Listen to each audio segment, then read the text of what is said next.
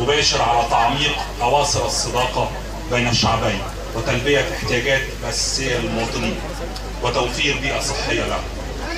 بالأصالة عن نفسي ونيابة عن أهالي أبو تيج نتقدم بالشكر للوكالة الأمريكية للتنمية الدولية.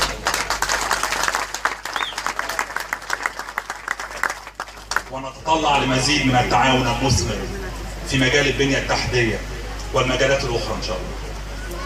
شكرا لكم جميعا وحسن الإنصات والسلام عليكم ورحمة الله.